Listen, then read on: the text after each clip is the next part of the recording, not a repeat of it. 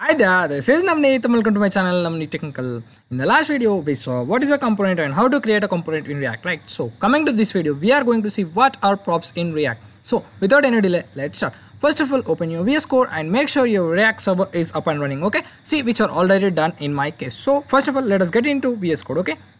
So this is my VS Code, okay? So coming to the topic, what are props, right? See, first of all, before getting into coding, we'll see some points regarding props, okay? And then we will apply all those points practically one by one. So first of all, let me open my dev.js, okay? Uh, where all the definitions of all the concepts are being written. So I'll just uh, press Ctrl Shift P and I will toggle the word wrap. Okay, I think you can see the changes before this and after this, okay? So you can see on the ninth line over here, what are props? Okay, see, uh, these are the four points I listed out about props. So we'll go to all the points one by one. So the first point is, see, React props are like function arguments in JavaScript. Okay, see, uh, those are like just function arguments which we pass to our function. So in the same way, we can pass these props to our components. So if you see the second point, uh, when React, when React come across a user defined component, okay, see this component which we have created up the previous video. So whenever React come across that component, what it will do, it will pass all its JSX attributes as a single object to that component which can be accessed inside that component by any name. Okay by any name. We can access that by any name. But by following the conventions we access it as props. Okay? And this particular object is called as props. That's it guys. So whenever react come across a user defined component what it will do it will pass all the attributes given to that component as a single object. Okay we call that object as props generally. So let me simplify a little bit for you okay?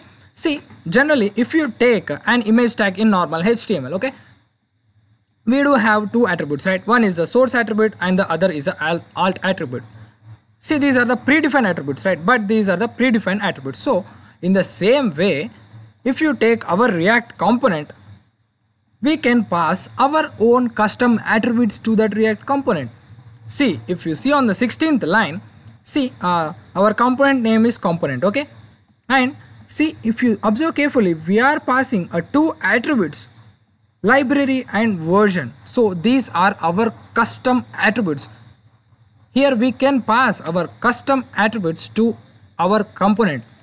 And you can give uh, any name okay see in this case i am giving it as a library and passing the value as react.js but uh, your wish. You can give any name.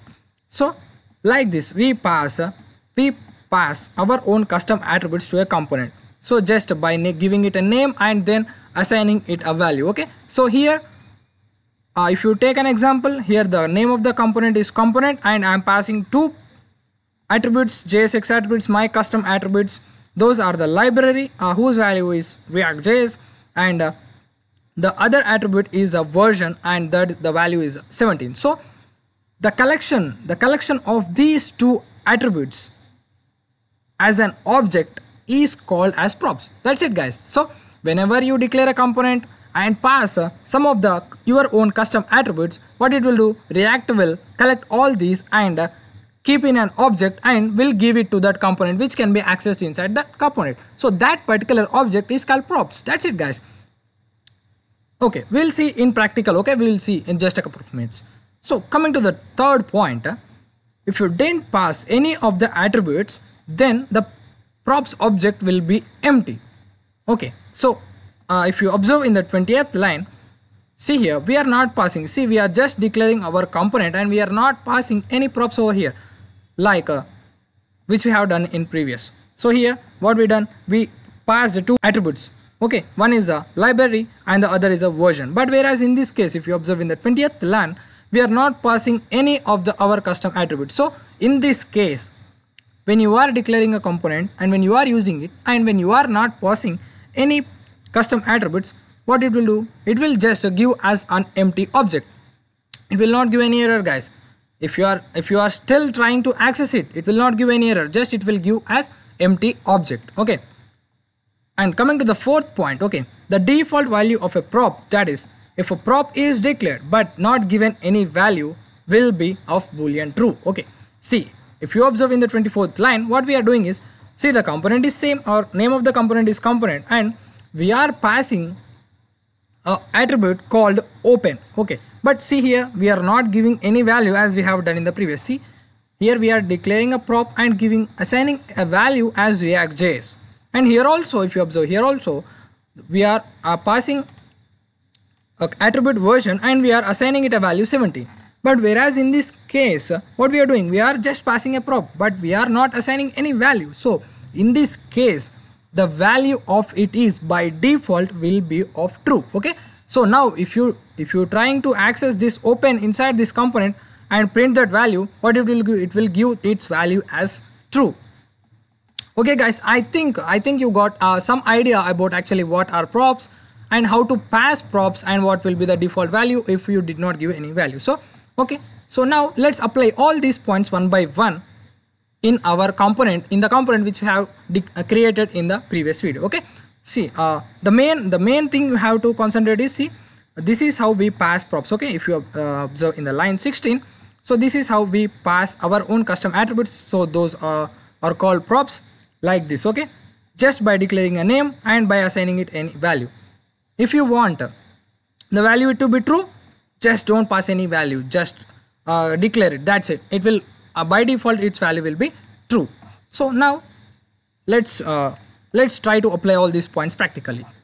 So for that uh, first of all uh, i'll get into i'll expand my source folder and i'll get into index.js so uh, this is the previous code which I have written in the previous video.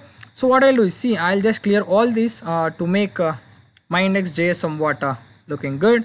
So this as well this callback is not required anymore.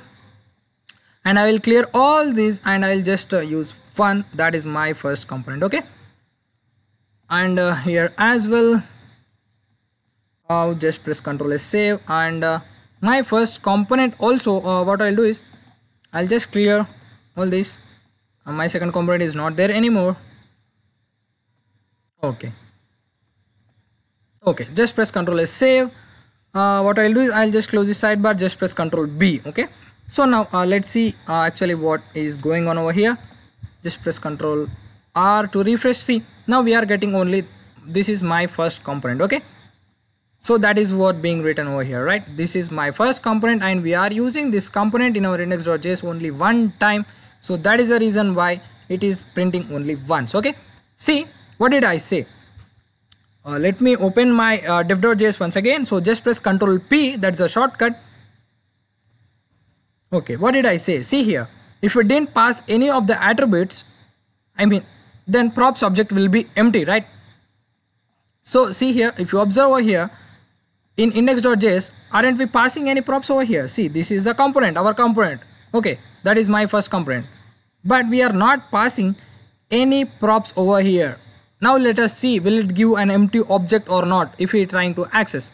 So how to access? Okay now this is the uh, another point. How to access these props actually. If you go to the definition again the previous definition. Component is nothing but a regular JavaScript which accepts arbitrary inputs okay? Which accepts arbitrary inputs called props okay? So that means here we we are getting an object by default. See whenever whenever react come across a user defined component see this my first component is our user defined component right? So react came across this. What it will do? It will pass all the attributes to as one object single object okay. To our component. Where is that? It's over here. But it is passing uh, behind the hoods it is passing. But how to access? So you can access it by any name over here. But generally by following the conventions we will call it as props so that's why i'm accessing over here the react which uh, which react is providing. Now let us see actually what it contain okay? What i'll do is i'll just console log it okay so just press uh, clg and just press enter. Pro ps okay? Now we should get an empty object right? So as we are not passing any custom our attributes over here but we are still trying to access it now it should give us an empty object. So let us see what is happening. So just press ctrl shift i to open our console and uh, once uh, you refresh your browser see if you see we are getting an empty object right? So you can see the line number over here my first component and line number 2 see this is what my first component line number 2 so here as we are not passing any our own attributes what it is doing it is just giving it an empty object. Uh, which one? That is a third point. So now third point is completed. Now let us pass some of the attributes. Okay see like this. So what i'll do is i'll just copy this. Okay uh, just get into your index.js and I will pass this over here. So now I'm passing two my own custom attributes. That is one is the library and the other is a version. Okay now just press ctrl s save. Now uh, anyhow we are accessing the props and this uh, no change will happen in this component. Okay now we are logging these props. Now let us see actually what these props consists of. Now it should not be empty right? As we are passing two attributes it should not be empty.